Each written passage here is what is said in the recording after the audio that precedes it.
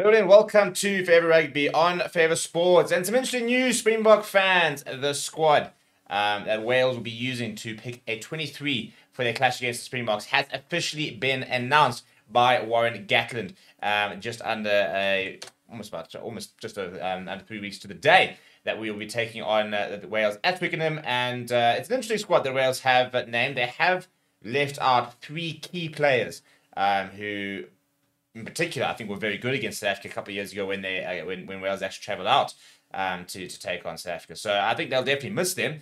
Uh, but it's going to be a slightly weakened Bok side, uh, even a slightly weakened Welsh side as well, with all players um, that play their um, rugby in uh, the likes of France or England um, not available for this clash because it does fall officially outside the test window. Um, so before we get into the squad, please do smash the like on the video. Please do subscribe to the channel as well.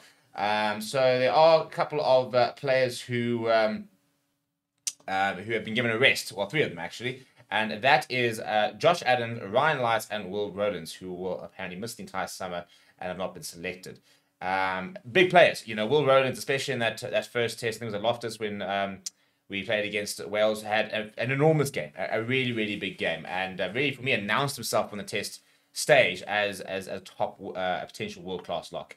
Uh, we all know that Josh Adams has uh, you know try scoring.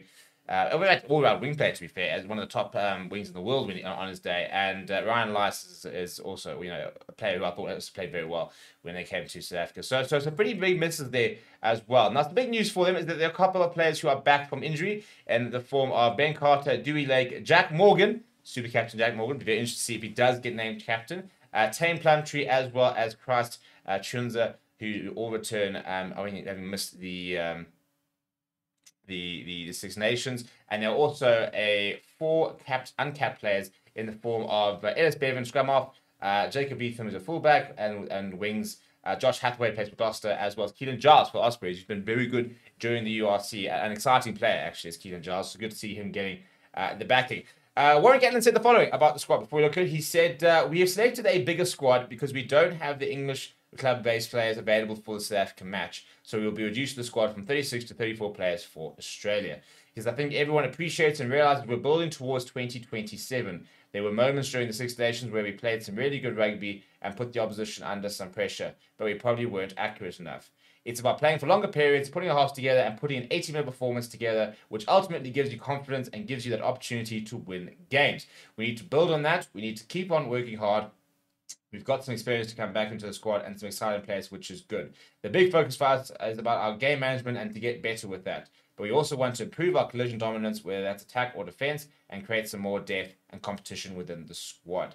Uh, in terms of the captaincy, he says uh, we will look at the leadership group um, that is going to be important for us going forward. We'll probably name a captain for South Africa and then name a captain for the tour. Right, let's have a look at the squad, shall we?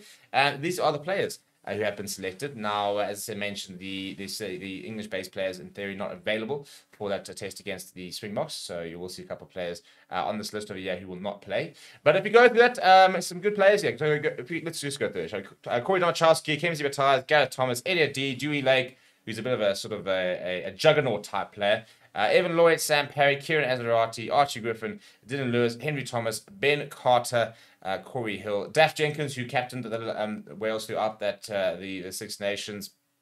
Important player, uh, Jenkins, because yeah, I think he's he's one of those players who very much for the future, and I think they've got some very good locks in the likes of you know Will Rowlands, Daf Jenkins, uh, are coming through. Interested to see where he settles.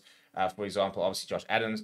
Um, so it's it's it's it's a good good to see him and continue his development. You think of Matthew Screech, Christians, Mackenzie Martin, Jac Morgan, what a player! I think he will be the captain of that game. Um, and the captain for, for the Australia tour. I, I see him being the Welsh captain. I don't really see who else they're going to go to. Daf Jenkins but did a good stint.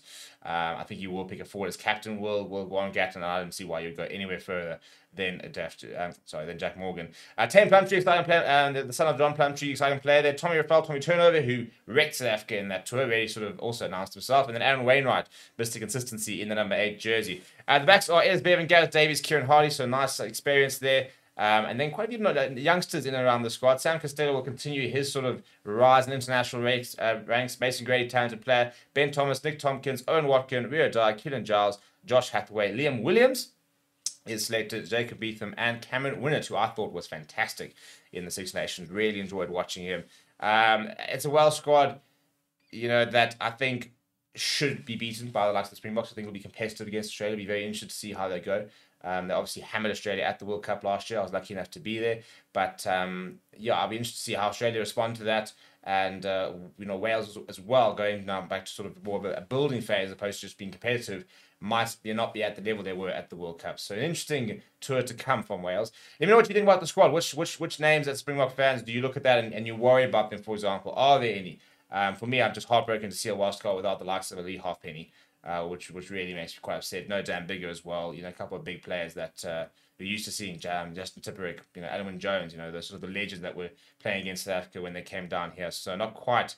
Uh, the same sort of uh, maybe pedigree, uh, uh, you know, as what we're used to, because there are a lot of young players in there, but some some very exciting players as well. Please do smash like on the video. Please do subscribe to the channel as well. Thank you very much for watching. My name is Steve. I'll chat to you soon.